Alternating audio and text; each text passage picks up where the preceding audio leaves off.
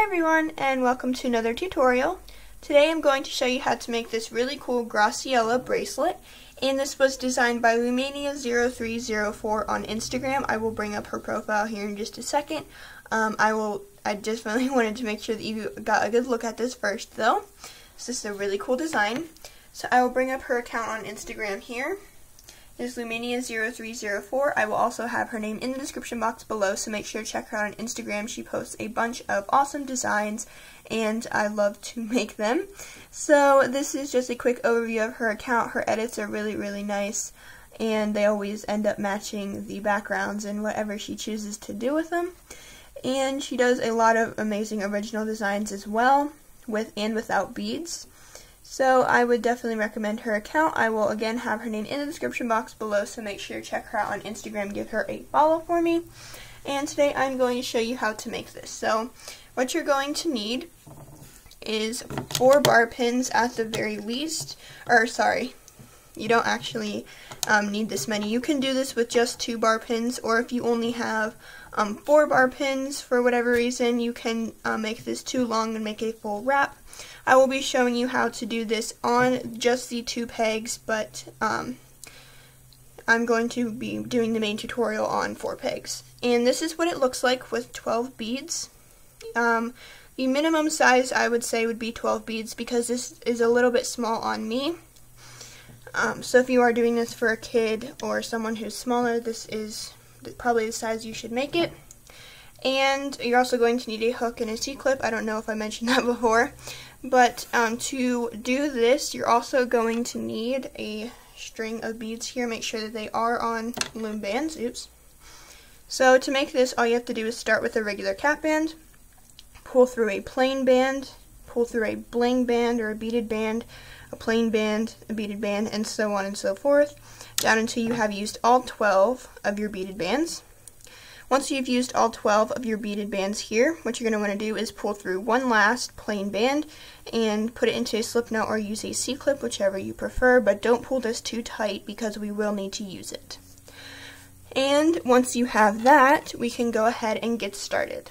So what we're going to want to do is start with the border color. In this bracelet, it is the fuchsia. I am using cocoa today. What you're going to want to do is, if you have large C-clips, you're going to want to place two bands across the bottom here, just so that it strengthens your bracelet. Then what you're going to do is go up into the outside on both sides, just like this. And then you're going to do two single chains until you reach the second to last peg on each of your sides. If you are doing 12 beaded bands, I will show you what it looks like when you get there. If you are not, if you're doing um, less or if you're doing more, then I will also show you what it should look like as you get to the end, and I'll explain um, a little bit more about where you want to stop. So I'm going to go ahead and go off camera and finish placing the rest of my border, then I will come back and I'll show you what to do next.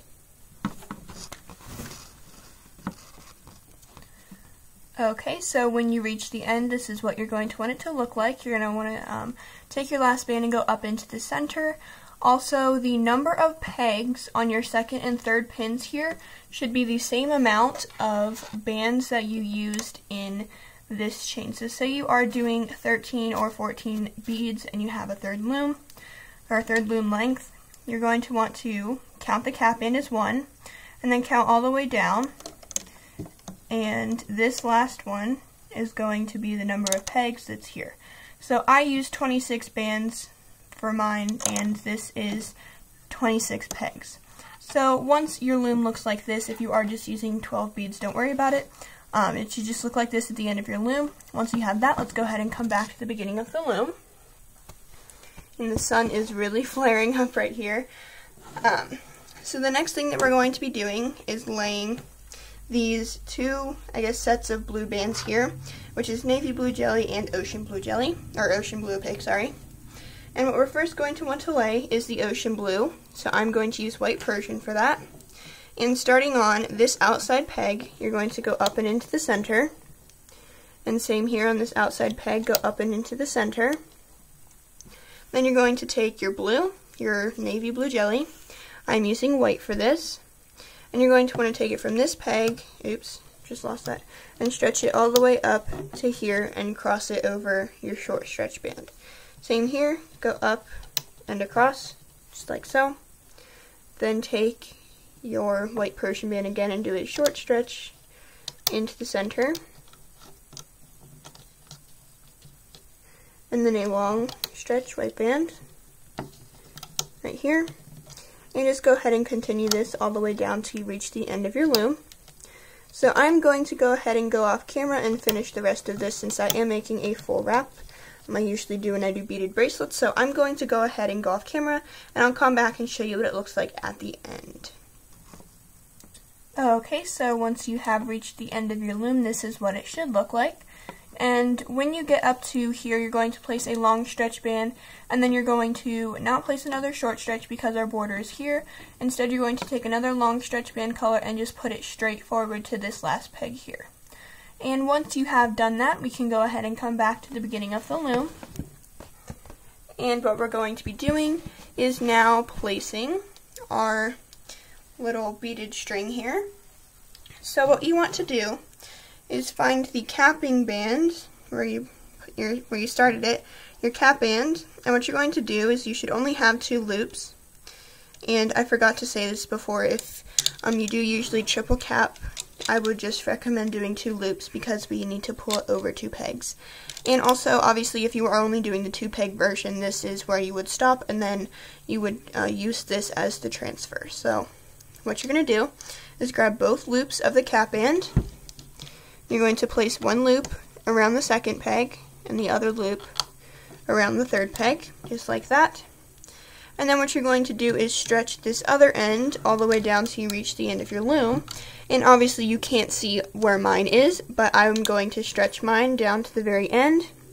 I actually have to undo this cap band here. And I'm going to stretch it down to the end of the loom, and um, I will show you what it looks like once I have attached this so I'm back. Um, and when you get to the end of your loom, you're going to want to take the C-clip off or undo the slip knot and put each of the loops on these two pegs, just like we did with the cap band. And you'll notice that these bands are really stretched in between, so if you are using limited edition bands, just be um, careful of that, that they don't snap or break. So once you have that, it, eh, once you have your loom looking like that, let's go ahead and come back to the beginning of your loom. And the next thing that we're going to be doing is taking these um, white bands here with our beads on it and we're going to pull it over these pegs. So if you are only doing the two loom version, what you're going to want to do is just pull over one side. So what you're going to do is you're going to take the second band, you're going to pull it over this peg, then you're going to take the other side and pull it over the other peg. Go to the next one, this is going to have your beaded band on it. You're going to pull it over the first peg and then you're going to pull it over the second peg. And if they're not in the center, you can always adjust them. Mine are really loose right now, so they're going to move anyway. Then just go up to the next band, pull it over and over.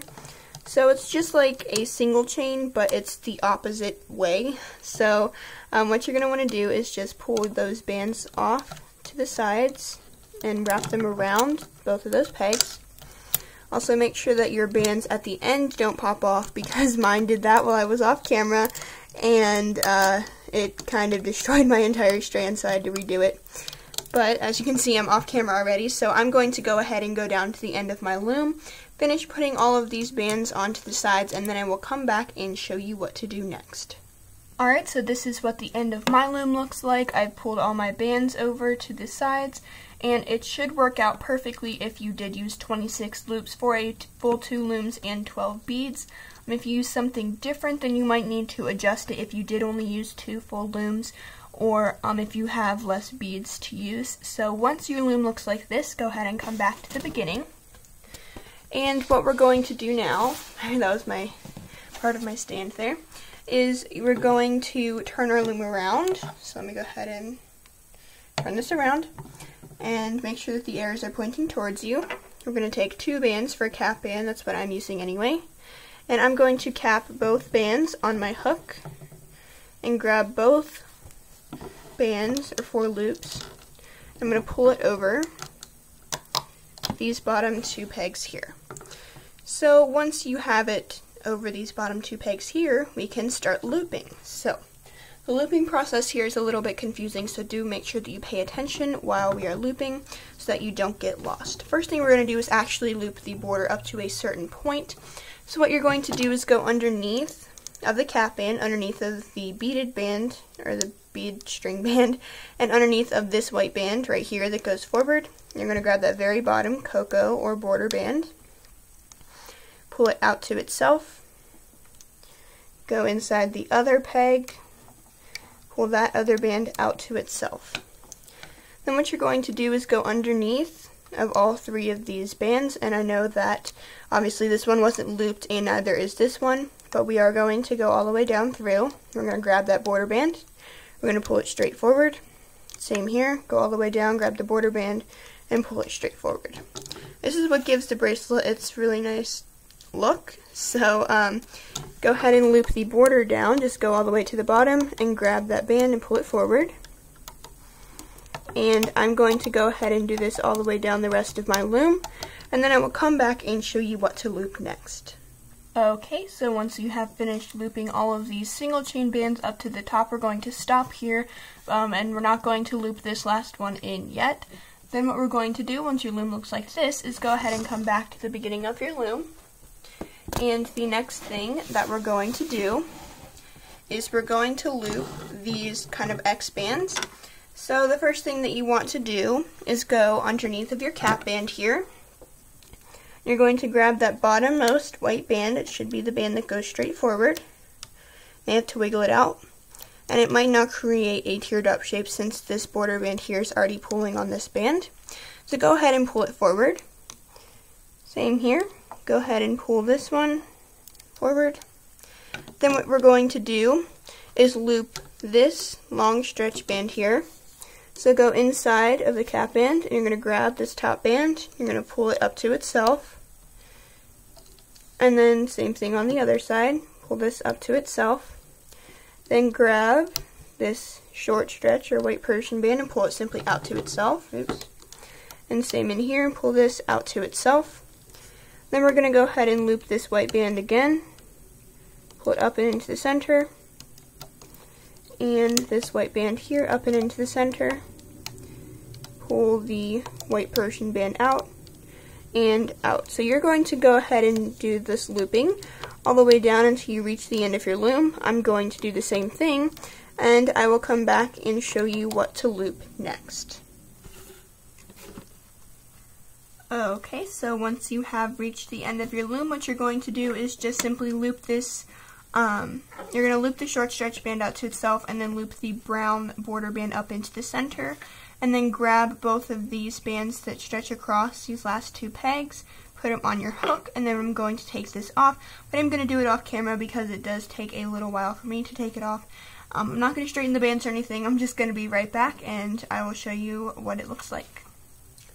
Alright, so I just took this off of the loom, but I didn't straighten any of the bands or anything. Um, I just kind of pulled it off, and this is what it looks like, so I'm really pleased with how this one turned out. And um, nothing really, there's nothing really more to add. You can just straighten the bands, pull on them, um, adjust these center beads however you like. Usually they'll just be right in the center here. And yeah, so that's going to be it for this tutorial. Thank you for watching. Make sure to give a thumbs up and subscribe. I will have loomania0304's name in the description box below, so make sure to check her out there. And that's all I'm going to have for this video, so I hope to see you next time.